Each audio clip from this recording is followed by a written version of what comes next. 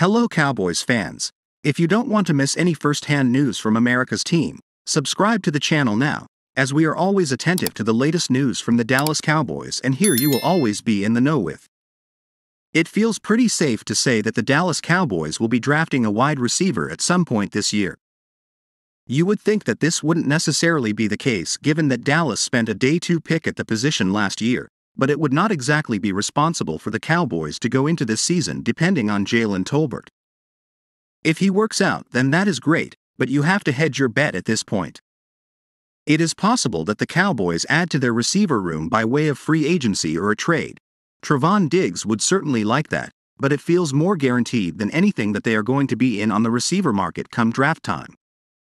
While there are a lot of receiver options who make sense, one worth mentioning is UNC's Josh Downs. Josh Downs is a receiver worth considering for the Dallas Cowboys. Already leave your like in this video, so you don't miss the latest cowboy news we posted here. Thank you very much. We have to consider reality when it comes to the Cowboys and drafting a wide receiver, and that reality is that they may have to watch a few names go off of the board since they are sitting at number 26 overall. A name to pay attention to, though, over the next few months is North Carolina's Josh Downs.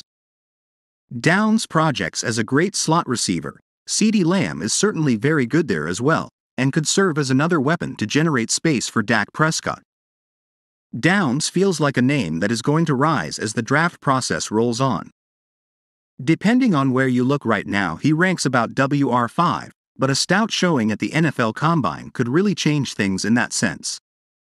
Owner Jerry Jones admitted that the team might have had Tolbert too involved in their plans when laying out the wide receiver room, which included trading Amari Cooper and losing Cedric Wilson Jr. to free agency.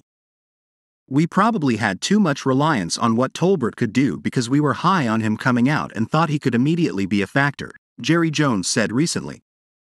We thought that possibly we could have better results relative to Gallup as far as his rehab and where he is, so I can say that.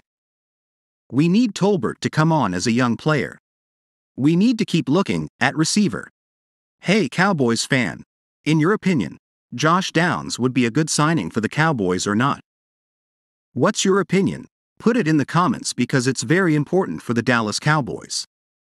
Stay tuned because at any time I update you on the latest Cowboys news.